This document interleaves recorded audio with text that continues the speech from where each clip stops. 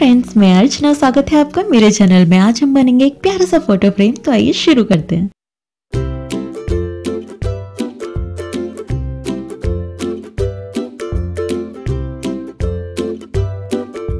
Frame बनाने के लिए मैंने लिया है ये वुडन पिंस प्लास्टिक का पिन नहीं लेना वुड वाला ही लेना है। एक छोटा सा फ़ोटो सीजर्स एक कोई लेस और ग्लूगन। तो सबसे पहले हमने ये जो अपने वुडन पिन लिए हैं, इनको यूज़ करते हुए आपस में इस तरीके से फंसाते हुए हम एक स्क्वायर बना लेंगे। अभी इनको स्टिक करने की ज़रूरत नहीं है, आप आराम से एक स्क्वायर बना लीजिए, एक फ्रेम बनाना है हमको इससे, इस तरीके से। अब इसको एक ब्यूटीफुल लेस से कवर कर दीजिए। यहाँ पे आपको ध्यान रखना है कि सिल्वर या गोल्डन लेस ना लेके आपको एक ऐसी लेस यूज़ करें जो वुड के साथ में अच्छी लगे, जैसे कोई ब्राउन कलर की लेस या फिर जूट की कोई लेस या फिर जैसे मैंने ये थोड़ा जंगल थीम टाइप का लेस लिया है, रेड और ग्रीन यूज़ करके, आप कुछ इस तरीके की लेस लें जो वुड के साथ में अच्छी लगे।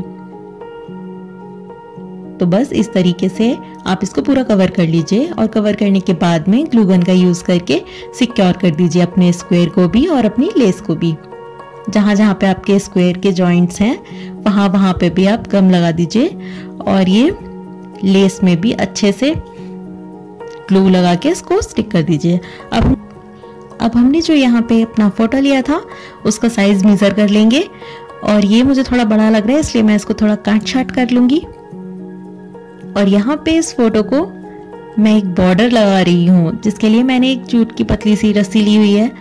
और मैं इससे इसका बॉर्डर बना रही हूँ। ये ऑप्शनल है, अगर आप चाहें तो ये वाला स्टेप स्किप कर सकते हैं। मुझे बेसिकली अपने फ़ोटोज़ के हार्श एजेस यहाँ पे नहीं दिखाने थे, इसलिए मैं ये छोटा सा बेस यहाँ पे लगा रही हूँ। बस इजीली आपका कोई भी लेस या कोई भी बॉर्डर यहाँ पे स्टिक कर लीजिए और बस इसको यहाँ पे लगा दीजिए फिट कर दीजिए अपने फ्रेम में। एकदम ऊपर की तरफ़ नहीं, मैंने थोड़ा सेंटर में करके इसको फिट किया है। जैसे कि आप देख सकते हैं।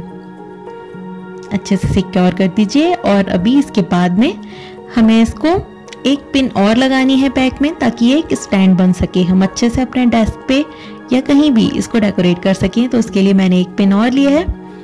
और इसके बैक में इस तरीके से मैं यहाँ पे लगा रही हूँ। अब आप देख सकते हैं आराम से ये टेबल पे रखा जा सकता है। कहीं भी आप इसको रखिए और अभी देखिए ये आगे कितना प्यारा लगेगा। ये छोटा सा इतना आसानी से बन जाने वाला गिफ्ट है ना ये? देखिए। आई होप आपको ये वीडियो ये आइडिया पसंद आया होगा। अगर हाँ तो मेरे वीडियो को लाइक करना बिल्कुल मत भूलिएगा। ज़रूर ट्राई कीजिएगा और शेयर भी कीजिएगा। Thanks for watching bye bye take care